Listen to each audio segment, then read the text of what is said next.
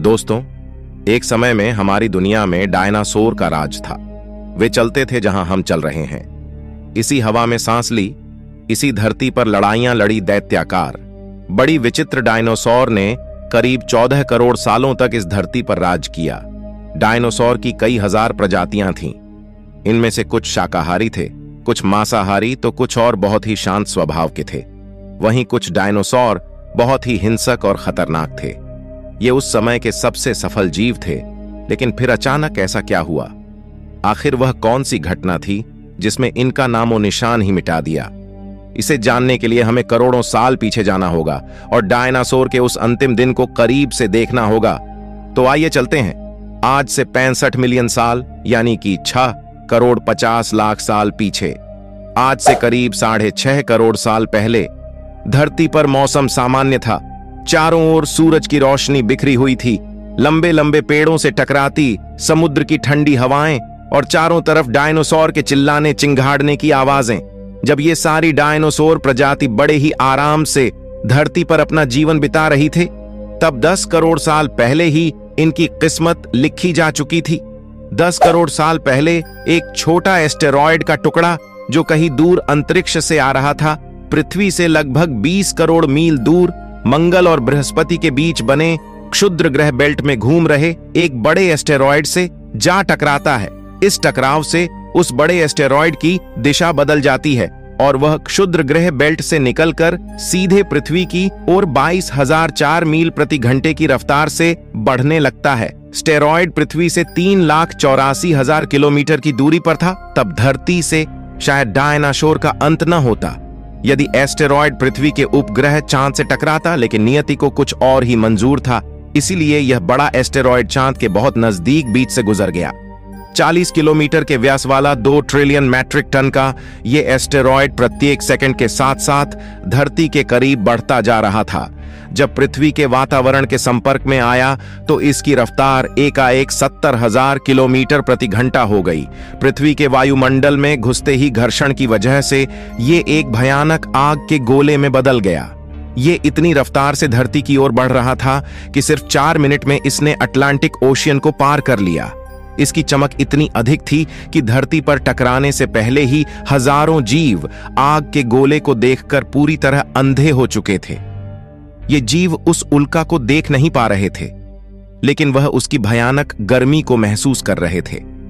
कुछ ही क्षण में यह एस्टेरॉयड मैक्सिको की खाड़ी के पास ज़मीन से टकराता है और लगभग पैंतीस हज़ार डिग्री सेल्सियस की ऊर्जा वाला एक भयंकर विस्फोट होता है। इस टकराव का विस्फोट लगभग 10 हाइड्रोजन बम के विस्फोट के बराबर था। विस्फोट। इतना शक्तिशाली था कि इसके टकराते ही धरती की लाखों टन धातु अंतरिक्ष में चली गई।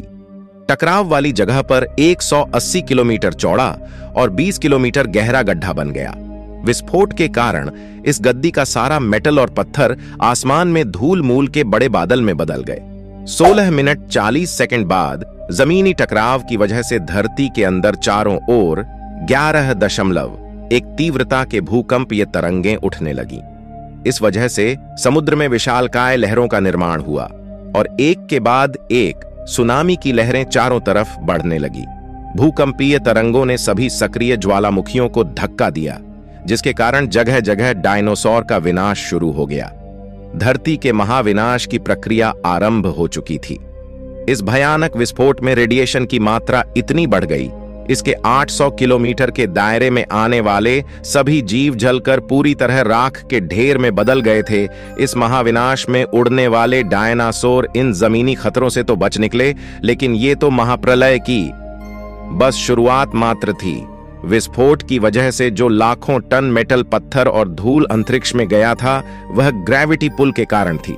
40 मिनट बाद आग के गोले के रूप में पूरी धरती पर बरसने लगे। साथ ही धूल का एक बहुत बड़ा तूफ़ान छह हज़ार किलोमीटर प्रति घंटे की रफ्तार से पृथ्वी की दूसरी तरफ़ मौत लिए आ रहा था। यह धूल के बादल कई किलोमीटर मोटे थे, जिसकी वजह से धरती पर सूरज की रोशनी का पहुँच पाना असंभव हो गया। गर्म हवाओं का तापमान 100 डिग्री सेल्सियस से ज़्यादा हो जाने के कारण धरती पर पेड़ पौधों की लगभग सारी आबादी जलकर खाक हो गई थी। विस्फोट के 90 मिनट बाद धरती का तापमान 200 डिग्री सेल्सियस तक बढ़ गया। इसकी वजह से जुड डायनासोर विस्फोट के इलाके से कोसों मील दूर थे, वे भी इस गर्मी से बच नहीं पाए। इस महाप्रलय से धरती की कुल 90 प्रतिशत प्रजाति पूरी तरह खत्म हो गई थी और जो 10 प्रतिशत जीव धरती पर बच गए थे, उनमें से भी सिर्फ़ वही जीव ज़िंदा रह सके। जिनका वज़न 30 किलोग्राम से कम था। इसका कारण यह था कि इस महाप्रलय में लाखों की संख्या में जीव मारे जा चुके थे, और पेड़ पौधों की सारी आबादी भी जलकर राख हो चुकी थी, जिसके चलते यहाँ जो बड़े और विशाल काय जीव जीवित बच गए थे, उन्हें भरपूर मात्रा में खाना पीना न मिल सका। लेकिन ये महाप्रलय किसी अन्य जीव के लिए फ़ायदेमंद साबित होने वाला था। धरती पर डायनोसॉर का अंत एक छोटी प्रजाति के लिए सुनहरा अवसर लेकर आया और प्रजाति थी, मैनर्स की मैनर्स क्या थे? कैसे बच गए? महाप्रलय से जाने के अंत के बाद इंसान कैसे और कहाँ से आए, यह जानेंगे। हम अगले एपिसोड में यदि आप चाहते हैं कि हम अगला वीडियो जल्द से जल्द बनाएँ तो इस वीडियो पर चार हज़ार लाइक्स ज़रूर कर दीजिए और हमारे यमलोक गाथा चैनल को सब्सक्राइब ज़रूर करें। धन्यवाद।